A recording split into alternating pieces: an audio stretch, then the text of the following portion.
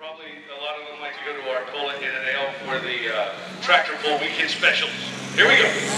Dan Shanks, Shanks Brothers out of uh, Hampton, Indiana. Here we go, John Deere fans.